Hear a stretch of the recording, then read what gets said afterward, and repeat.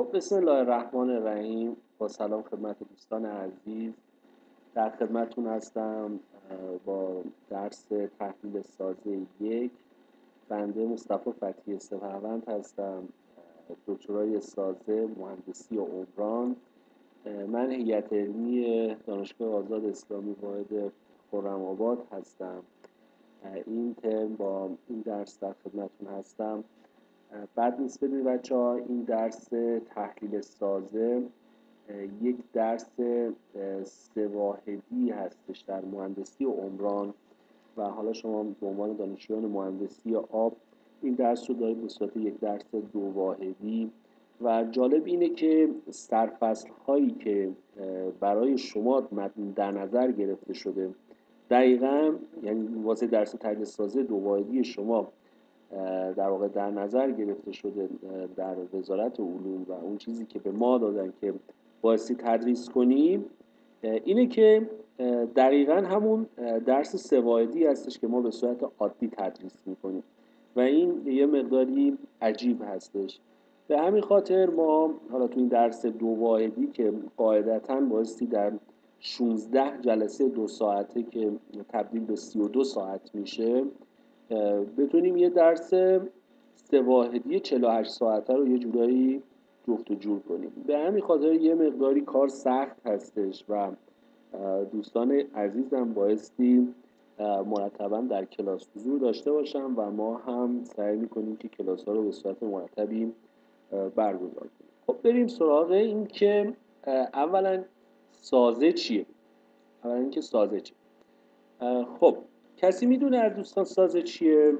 می‌تونه صحبت کنه یا نه؟ کسی دوست داره صحبت کنه؟ از دوستان عزیز. هر کدوم از دوستان عزیز می‌خواد صحبت کنه رایز, رایز هند رو بزنه و من تایید می‌کنم می‌تونه صحبت کسی دوست داره صحبت کنه؟ خب فکر کنم دوست نداره. اشکالی نداره. من خودم میگم بچه سازه چیه؟ یه عضو عضو یا مجموعه اعضا که از اون برای تحمل و انتقال نیروها به صورت ایمنی استفاده میشه رو بهش میگن سازه. اینجا نوشتیم. ببینید مجموعه یه عضو یا مجموعه از اعضا که برای در واقع تحمل کردن و یا اینکه انتقال بارها به صورت در واقع ایمن استفاده میشه بهش میگیم سازه. خب اطراف ما بچه ها ساختمون ها رو داریم بیلدینگز ها رو داریم در واقع پل ها رو داریم صد ها رو داریم. انواع سازه ها رو در محیط اطراف می‌تونیم ببینیم. پس سازه ها بسیار پرکاربرد هستند و ما به شدت از اونها استفاده خواهیم کرد. به صورت کلی بچه ها یک سازه مثل ساختمان رو در نظر بگیر. بچه ها این ساختمانی که ما می‌بینیم مجموعه ای از اسکلت اسکلت مثلا اگر اسکلت فولادی باشه و یا بتونی باشه یک اسکلتی داره که بعد از اینکه اسکلت ساخته شد دیوارها در پنجره اینها در واقع بعدش اجرا میشه که تبدیل میشه به یک ساختمانی ولی بد نیست که بدونید از دید ما این ساختمون همش سازه نیست. همش سازه نیست. بلکه اون اسکلت فقط سازه است. متوجه بچه ها؟ اون قسمتی که نیروها رو قرار تحمل کنن و انتقال بدن به پی اون سازه است. خب پس در یک ساختمانی که فرض کنید یه دیوارهای پارتیشن داره مثلا یک ساختمانی یه سری دیوارها هست که این دیوارها رو ممکنه خراب کنن جابجا جا کنن. اینها که مشخصه که در تحمل بار نقشی نداشتن این قسمتی از سازه نیست. اصلا کل دیوارهای یک ساختمان رو میشه خراب کرد. ساختمان هایی که اسکلت دارن. همش رو میشه خراب کرد. بدون اینکه سازه دچار فرو ریزش بشه. خب این چی رو نشون میده؟ نشون میده که اون دیوارها نقشی در تحمل بار نداشتن بلکه دیوار پیرامونی بوده. قرار بوده که در واقع به خاطر کاربری که داره ازش استفاده کردن یا دیوارهای جدا کننده بودن که ازشون استفاده کرد پس ما در یک ساختمانیم. ببینید عملا در یک ساختمان عرض می‌کنم خدمتتون. در یک ساختمانیم. بچه ها ما در واقع سه قسمت در واقع تبدیل میشه. یکی استراکچر که سازه است که گفتیم همون اسکلتش هستش که وظیفه تحمل بارها رو داره. و پس این structure که شامل اعضای سازه ای میشه که شامل تیرها هستش ستونها هستش پی هستش اتصالات بین تیر و ستون هستش بادبندها هستش. اینها همشون structure هستش که در واقع شامل structural component میشه. یعنی اجزای سازه میشه. پس اجزای سازه چی هستن در یک ساختمان؟ عزیزان من تیر هستش ستون هستش بادبند هستش اینا رو هم دیگه میشه structure. پس structure این اسکلت هست. ولی building چیه؟ building شامل structure یعنی structural component structural components خب structural component که همون سازه است اسکلت سازه است. به اضافه non-structural components. non-structural components چیه؟ همین دیوار دیوارهای عطر دیوارهای پیرامونی دیوارهای داخل اینها یه جورایی چسبیده به سازن اجرا میشن ولی نقش باربری ندارن. اینا رو استرام بهش میگن نون استراکچرال کامپوننت. اجزای غیر سازه و بعد از اینکه در واقع مثل حتی نازوکاری اینا اجزای غیر سازه ای هستن. سنگ سنگ سنگی که موزاییک این داستان هایی که میشه اینا کلا نقشی در باربری ندارن ولی به سازه چسبیدن اینا رو بهش میگن non-structure components یعنی اجزای غیر سازه. و مورد سوم محتوای سازه است. محتوای سازه که اصطلاحا بهش میگن content content با خیلی وقتا هستش که سازه از محتوا گرونتره. در خیلی از ساختمون ها اینجوریه. خود ساز خراب بشه قیمت سازه از محتوای سازه که ممکنه مثلا چهار تا مبلمان و این داستان ها باشه و قالفرش و اینا باشه گرونتر باشه خود سازه مثلا در یک در یک زلزله ای که خدایی نکرده بیاد و ساختمونی خراب بشه هزینه خود ساختمون در خیلی از ساختمون های مسکونی از محتوای داخلش حالا اگر انسان نباشه معمولا هزینهش بیشتره.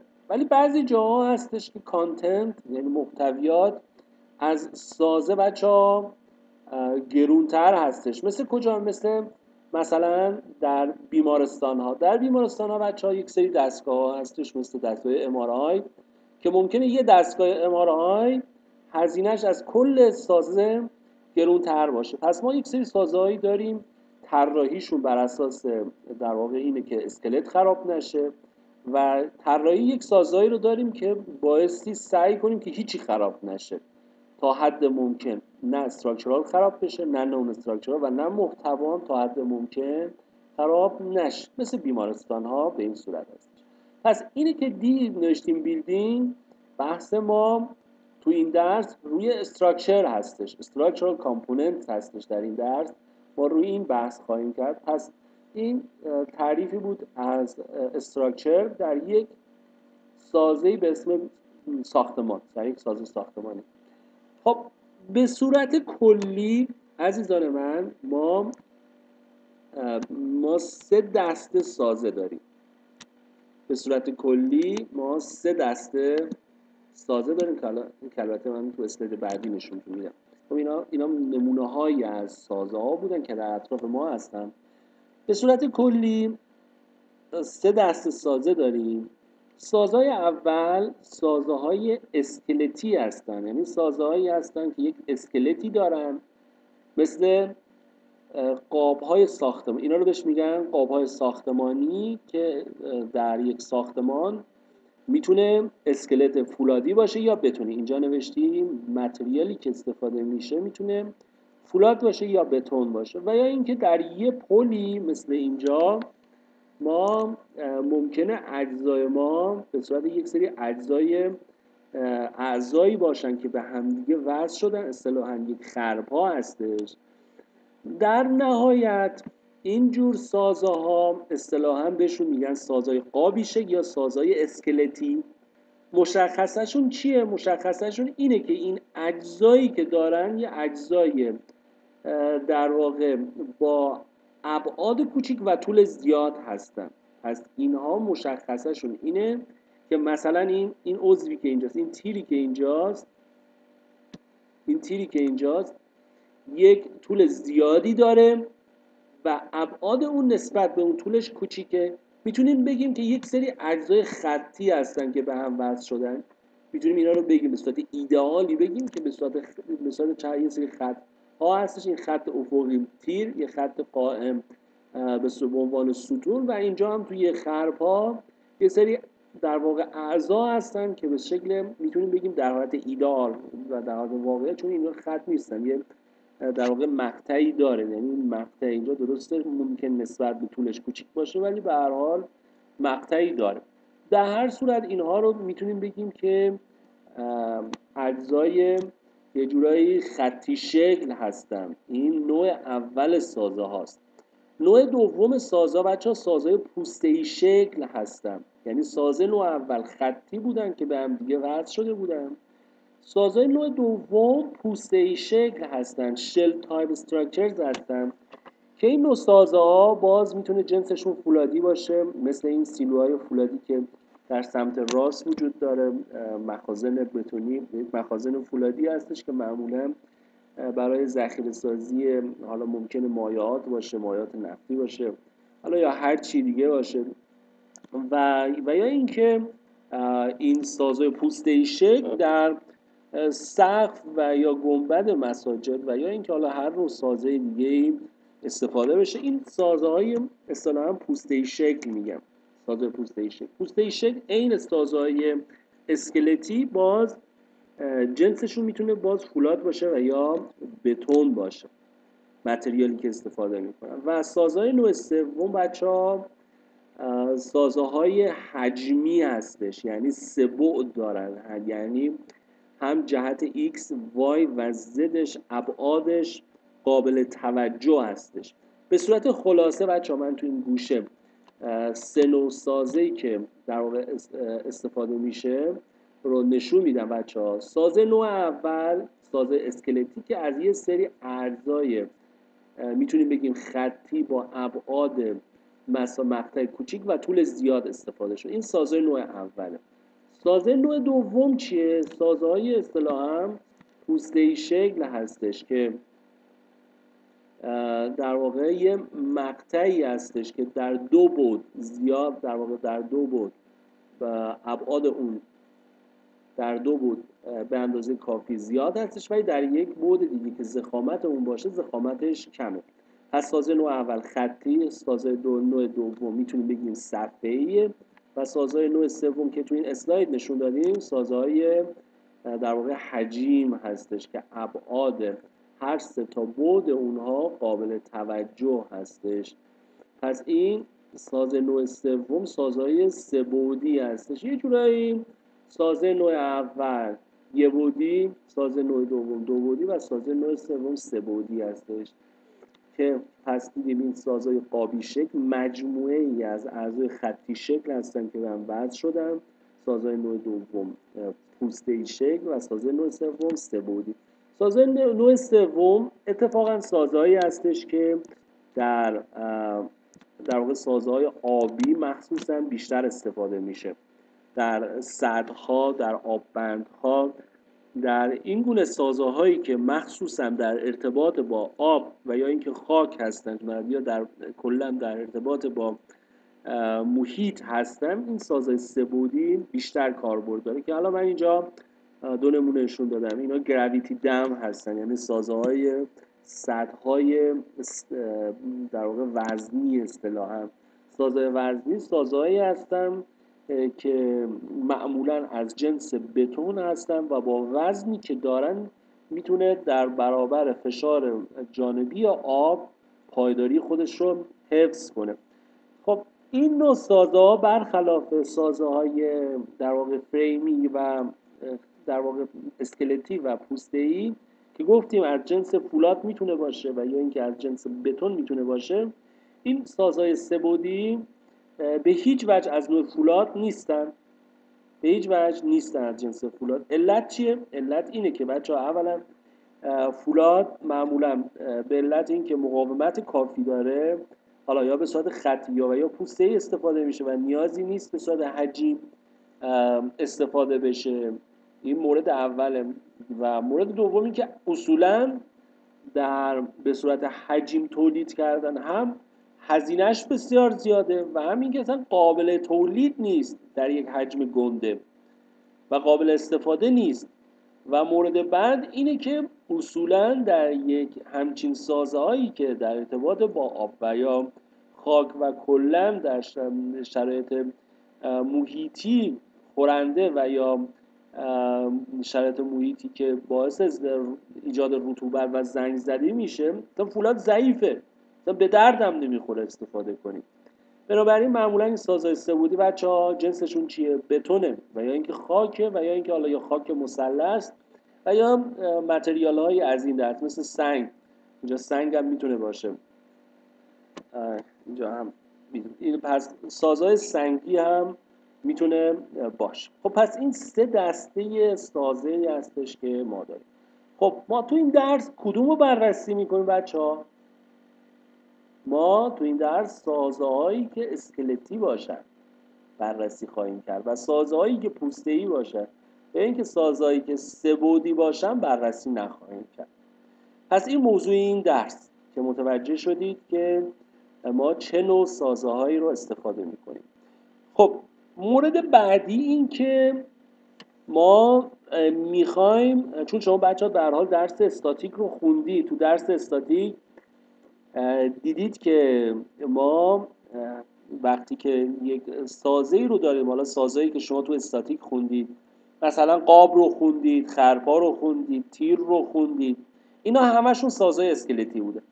خب چیکار می‌کردید تو در واقع درس استاتیک؟ مثلا می‌رفتید عکس های تکیگاهی رو به دست می آوردید و یا اینکه نیروی داخل اعضا رو به دست می آوردید بچه ها خب به این عمل اصطلاحا میگن تحلیل سازه تحلیل سازه structural analysis.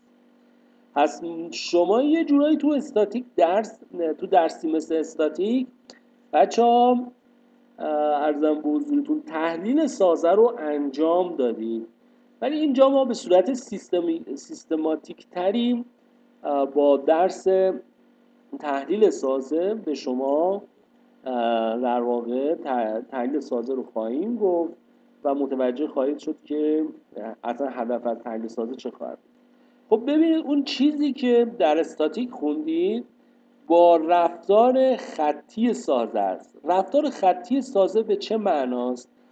به معنای اینه که سازه تحت اثر بارها دوچار حالا اینجوری میگم که ساده باشه دوچار خرابی نشه. دوچار خرابی نشه. تجربه خرابی نداشته باشه. ما کی در سازه خرابی داریم؟ کی خرابی داریم؟ در هنگام بچه ها مثلا زلزله. در موقع زلزله ارسکویک وقتی که ما زلزله داریم بچه ها سازه خراب میشه تحلیلی که بتونه زلزله رو در در واقع لحاظ کنه در حین بچه ها وقتی که نیروی زلزله به ساز وارد میشه دیگه تحلیل ساز عادی قابل استفاده نیست. پس ما عزیزان من می‌تونیم بهتون بگیم که انواع تحلیل رو داریم. آسون ترین تحلیل تحلیلی هستش که اصطلاحا خطی هستش و بارها هم بار ثابت هستش. یعنی این چیزی که ما تو این درس در نظر میگیم یعنی فرض می‌کنیم رفتار سازه خطی اگه تو درس مقاومت مساله خونده باشید رابطه تنش کرنش خطی فرض میشه. اصطلاحا ما تحلیل الاستیک خطی انجام میدیم و چون بارها هم ثابت هستش اصطلاحا بهش میگیم تحلیل الاستیک خطی در واقع تحلیل استاتیکی خطی الاستیک. کلمه استاتیکی رو هم داره. ولی در یک موقعی که زلزله میاد چون بار دینامیکی هستش و بار تغییر می‌کنه تحلیلی که انجام میشه اولا استاتیک نیست دینامیکیه و, و الاستیک نیست غیر الاستیکه این الاستیکه. ما تو این درس این این الاستیک ها رو کلا نداریم. پس ما این زلزله و بار متغ... اینکه بارها متغیر باشه نداریم. بارامون ثابت فیکس. و سازه رو فرض می‌کنیم که تو ساده ترین حالت ممکنه رفتار خطی داریم. بنابراین بچه ها منظور از تحلیل سازه تحلیل الاستیک و استاتیکی هستش ساده ترین حالت ممکن. و چه نوع سازه هایی؟ سازه های قابی شکل سازه قابی شکل؟ پس عنوان دقیق درس شما می‌تونیم بگیم که تحلیل الاستیک استاتیکی خطی سازه های قابی شکله یعنی عنوان دقیق درس شما اینه. یعنی ما انواع سازه داریم ولی اونایی که اسکلتی بررسی می‌کنیم. انواع تحلیل داریم. یعنی بار می‌تونه متغیر باشه سازه می‌تونه خراب بشه در حین تحلیل سازه رفتار غیر خطی می‌تونه داشته باشه که ما اینا رو در نظر نمی‌گیریم. یک تحلیلی که بارها فیکس ثابت و رفتار خطی رفتار سازه خطی آسون ترین حالت ممکن و سازه اسکلتیه. پس ما در این درس این موارد رو بررسی می‌کنیم که چی میشن؟ این که اینها این سازهای فریم میشه میشه تیر. میشه تیرها. ما تیرها رو بررسی می‌کنیم. قاب ها رو بررسی می‌کنیم. فریم میشه قاب. آرچز میشه قوس ها رو بررسی می‌کنیم. که البته قوس ها رو به احتمال زیاد واسه شما حذف می‌کنم. قوس ها رو نمیگم. این چون همون بحث دوبادی که عرض کردم قوس ها رو بهتون نمیگن کابل ها جزء ارزای خطی شکل. اینم حذف میشه. و فنرها. فنرها هم یه جورایی ارزای خطی هستن و به احتمال زیاد ما خیلی وارد بحث فنر نمیشیم. ببینید پس دوستان عزیز سرفصل این درس تحلیل این ستاست می‌تونیم بگیم حالا این فنر رو هم مثلا ازش در میاریم. فقط تیرها قاپها. همین. یعنی این درسی که ما داریم این دوتا سازه رو بررسی می‌کنیم. چیا بچه ها؟ تیر قاب همین. خب پس ما تحلیل الاستیک خطی استاتیکی سازه قابی سازه قابی پس یه تیر داریم یعنی یه عضوی که افقی باشه و قاب داریم که مثلا یه تیر و یه ستونی به هم وصل شده باشه. که منم عرض کنم خدمت البته به جز اینا هم یه دونه مورد دیگه هم هست خرپا. خرپا یعنی فریم ها بچه یه نوع می‌تونیم بگیم که خرپا هم هست. این truss هم, می نویسیم trusses trusses هم میشه خرپا ها پس ما خرپا ها رو هم داریم بچه خرپا ها هم بررسی می‌کنیم. پس ما این سه دسته این سه دسته اول رو بررسی خواهیم کرد. سه دسته اول رو بررسی خواهیم کرد. تیرها، قابها و خرپاها. کل این درس در مورد این سه تاست خب تو این سه تا ما چیکارا می‌کنیم؟ چیکارا می‌کنیم؟ منظور از یعنی اهداف بچه ها تحلیل سازه چیه؟ Purposes اهداف تحلیل سازه چیه؟ اول اینکه بگیم که سازه آیا معین هستش یا نامعین هستش. من فکر می‌کنم تو درسی مثل مقاومت مساله با بحثی به اسم ارزم به حضورتون هیپرستاتیک آشنا شدید. کسی هستش که هایپرستاتیک یادش باشه تو درسی مثل مقاومت مساله هایپرستاتیک؟ یا اصلا کلا بحث نامعینی؟ من خودم معمولا درس مقاومت مساله که تدریس می‌کنم این بحث رو میگم به بچه ها یعنی یه قسمت اصلی هستن تو درس مقاومت مساله سازه های هایپرستاتیک هستش یا سازه های نامعین استاتیکی. کسی یادش هست؟ یادش نیست منها بذاره. ببینم مقاومت مساله چی, چی یادتون هست. چیزی یادتون هست؟ کی اینجاست؟ خب بذارید من چون داره ضبط میشه من سریع رد می‌کنم. اشکالی نداره. بعد از اینکه ضبط رو متوقف کردم میام سراغتون ببینم ما مسئله چی خوندیم ارزم به حضورتون پس بحث معینی و نامعینی یه قسمتی از تحلیل سازه است. یعنی ما میگیم که تحلیل سازه می‌خوایم انجام بدیم. یکیش اول اینکه بررسی کنیم سازه معینه یا نامعینه انشالله ما جلسه بعد یک جلسه این بحث رو داریم. یعنی جلسه اول اینه. و بعدش در مورد اینکه آیا سازه پایداره یا ناپایداره بحث خواهیم کرد. حالا اینکه پایدار یا ناپایداره اینم باز داستان داره. که حالا من باز سر جای خودش بهتون میگیم که سازه چه موقع پایداره چه موقع پایدار نیست. ولی به صورت کلی یه چیزی که تو ذهنتون باشه سازه اون مجموعه اعضایی هستن که تحت اثر بار قرار نیست حرکت کنه. یعنی اگر یک مکانیزمی باشه مثلا یه چیزی مثل چرخ باشه چه می‌دونم یک چند تا عضو مکانیکی باشه اینها تحت اثر یک بار حرکت می‌کنه این اصطلاحا بچه بهش میگن یه مکانیزم. اون مجموعه از اعضایی که تحت اثر بار حرکت می‌کنه اون مکانیزمه و سازه نیست. ما تو سازه تحت اثر بار قرار نیست حرکت داشته باشیم و به همین خاطر مثلا میگم مثلا یک یه جایی در نظر بگیر یه اتصال پین در واقع ساده رو در نظر بگیر. یک عضوی اینجوری بهش وصل شده باشه. خب حالا یه همچین چیزی که اگر تحت اثر نیرو قرار بگیره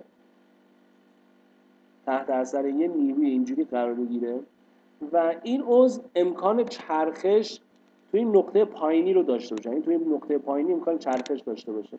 خب وقتی که نیرو وارد میشه چی میشه؟ خب معلومه این میچرخه دیگه. این میچرخه. درسته؟ این میچرخه خب این سازه نیست بچه ها. یعنی مجموعه از اعضایی که تحت اثر بار گذاریم امکان حرکت داره این سازه نیست سازه نیست چرا ما کلا در بحث سازه ها رابطه ای که داریم چیه بچه ها؟ مجموع نیروهای وارد به سازه مجموع کل نیروهای وارد به سازه سیگما F مساویه با صفر. این رابطه ای هستش که ما کلا حالا این F رو به صورت bold می‌ذارم که بگیم این در واقع مج... بردار هستش. پس ما تو سازه بچه ها سیگما F مساوی با صفر رو داریم. این کل در واقع رابطه ای هستش که در درس تحلیل سازه داریم. پس این معادله در واقع تعادل هستش که در structure به کار برده میشه. پس در سازه اینه. ولی در این همچین فرمی که اینجا کشیدم که تحت اثر بار حرکت کرد چون حرکت می‌کنه دیگه قانون سوم نیوتن توش در واقع صدق می‌کنه. سیگما اف مساوی است با ام آ. ام آ. که حالا اینجا که این مثلا اگه جرمی داشته باشه این حرکت چرخشی داشته باشه این میشه مثلا آی تتا دابل بر حالا کاری نداره پس اینجا دیگه این استراکچر نیست نیستش مکانیزم هستش. اجازه بدید بچه من در سه چهار در ده دقیقه دیگه تموم میشه. بعدش پرسش و پاسخ خواهیم داشت. پس این مکانیزم و ما تو این درس مکانیزم ها رو بررسی نخواهیم کرد. اینکه حرکت کنه تحت اثر بار این در واقع این سازه نیست. اینجا بچرخه و حرکت کنه این قابل قبول نیست. یعنی در واقع ما این رو بررسی نمی کنیم تو این درس. این اینا اگر درسی داشته باشید اسم دینامیک یا تو درس دینامیک بررسی میشه که آقا مثلا اینکه نیرو بهش وارد شد شتابش چقدر و سرعتش چقدر رو مثلا تو درسی مثل فیزیک بررسی کردیم. ما مکانیزم ها رو بررسی نمی کنیم. استراکچر ها رو بررسی می کنیم که حالت تعادل داره و این سازهایی که حالت تعادل داره عزیزان من اول چک می‌کنیم می‌بینیم چقدر چند درجه چقدر در واقع معین و نامعین هست پایدار هست و ناپایدار هست. بعد از اینکه اینا رو فهمیدیم مثلا یه شکل سازه که بکشم مثلا یک تیری که دو تا عکس العمل تکیگاهی داره. عکس العمل تکیگاهیش مثلا به این صورت و به این صورت. حالا نوع تکیگاهی اینا رو هم حالا جلسات بعد بهتون میگیم. ما فرضمون اینه که شما از مقاومت مسائل و چیزی نیاموختید متاسفانه. خب من فرضم اینه. ببین این سازه فیکسه. تحت اثر بارها باری که اینجوری بهش وارد بشه این سازه حرکت نمی‌کنه. خب حرکت نمی‌کنه. پس ما معادله تعادل رو می‌تونیم بنویسیم براش. سیگما F مساوی با صفر. خب بعد اینکه فهمیدیم که این structure هست ما میریم سراغ محاسبه عکس العمل های تکیه‌گاهی support reactions ها میشه عکس العمل های تکیه‌گاهی. بعد نیروهای داخلی رو به دست میاریم و و تغییر شکل ها این قسمت سوم این چیزی هستش که شاید تا الان کلا نخونده باشید و اتفاقا قسمت مهمی از درس ما نحوه محاسبه تغییر شکل در این نوع سازاست که مثلا این شکلی که اینجا کشیدم یه تیر کشیدم. حالا تیر قاب خرپا ما تو این درس دنبال ما بیشتر دنبال محاسبه تغییر شکل هستیم و قسمت عمده ای از وقت ما در این درس به محاسبه تغییر شکل ها خواهیم پرداخت. پس اینها رو هم دیگه این پنج تا گام رو هم دیگه بچه ها بهش میگن تحلیل سازه. پس به شما گفتن تو تحلیل بگن یک سازه رو تحلیل کن چه کار می‌کنیم میگی که اولا آقا یا یا معین یا نامعینه. دو آیا پایدار یا ناپایداره؟ سه عکس های تکیهگاهیش چقدره؟ چهار نیروی داخلیش چقدره؟ پنج تغییر شکلاش چقدره؟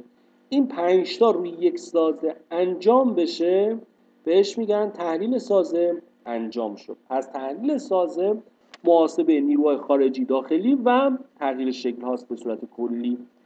پس این تغییر شکل هاست. خب این یه مقدمه ای بود. بریم سراغ این که سرفصل چیه و نمره ما چجوری میدیم. سرفصل وزارت علوم بچه ها همین هستش که اینجا نوشتیم. کنترل که داریم. همین معینی نامعینی فصل یکی که بهتون میگیم. پایداری ناپایداری رو انشالله جلسه دوم میگیم. جلسه دو جلسه دیگه میگیم. تحلیل سازهای معین رو داریم. فصل سه یه جورایی مروری بر استاتیک. مروری بر استاتیک و شاید یه مقداری مقاومت مساله باشه.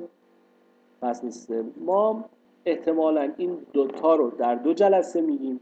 این رو چون مروری بر استاتیکه و طبق تجربه تجربه ای که از قبل دارم معمولا دوستان هم در استاتیک هم مقاومت یک مقداری ضعیف هستم. من توی فصل سه یه مقدار وقت بیشتری می‌ذارم برخلاف اون چیزی که بایستی باشه. چون فصل سه یه جورایی یادآوری هستش. من تو فصل سه تیر قاب و خرپا قاب و قوس حذف تیر قاب و خرپا رو مثلا هر کدومشو شاید یک یا دو جلسه بذارم. بنابراین این فصل سه ممکنه چهار پنج جلسه طول بکشه.